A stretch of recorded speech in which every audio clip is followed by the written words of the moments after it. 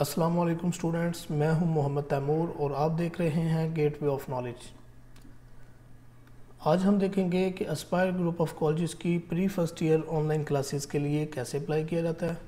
Simple आपने अपने browser पे क्लिक करना है। टाइप करना है Aspire college dot E D U dot P K enter press करेंगे तो आप अस्पायर कॉलेज की मेन वेबसाइट पे चले जाएँगे। इधर आपने अप्लाई ऑनलाइन पे जाना है। आपको नीचे स्टूडेंट एडमिशन फॉर्म शो हो जाएगा।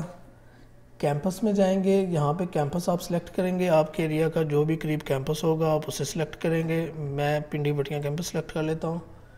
प्रोग्राम में FSC pre medical pre engineering ICS physics आप जिस डिसिप्लिन में एडमिशन लेना चाह रहे हैं, आपने उसे सिलेक्ट कर लेना है।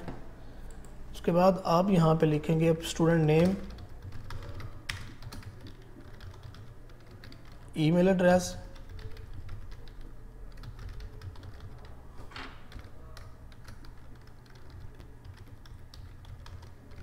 father name guardian contact number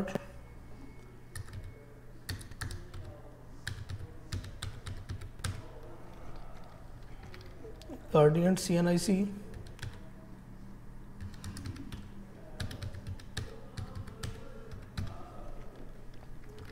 आपका मैट्रिक का रोल नंबर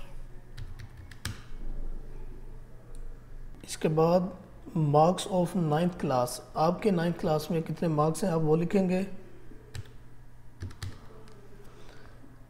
उसके बाद आपने यहाँ पे अपना एड्रेस टाइप करना है।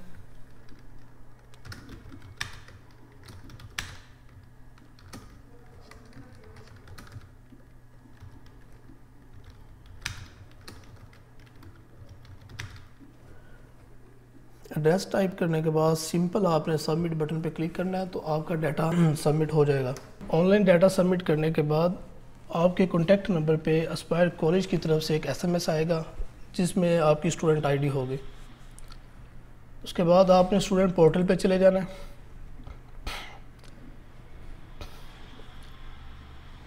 आपके एसएमएस में जो स्टूडेंट आईडी होगी, उसको आईडी के साथ at the rate Aspire dot com लिखेंगे और वही आईडी आपका पासवर्ड होगी।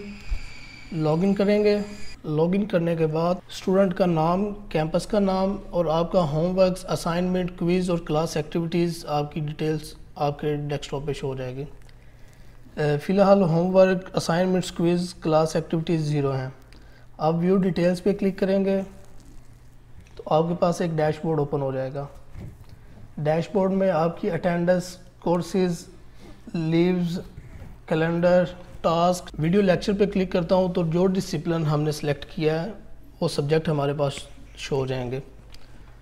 सिंपली मैं बायो पे क्लिक करता हूँ ऑनलाइन वीडियो लेक्चर शो हो जाएँगे। आई थिंक अभी तक तीन लेक्चर्स ग्रुप की तरफ़ से अपलोड किए जा चुके हैं। आप उस लेक्चर पे क्लिक करते हैं। अस्सलाम वालेकुम स्टूडेंट्स। और लेक्चर सुनने के बाद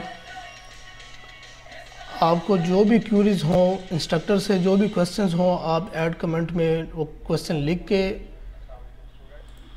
पोस्ट कमेंट पे क्लिक करेंगे तो आपका क्वेश्चन आपके इंस्ट्रक्टर तक पहुँच जाएगा।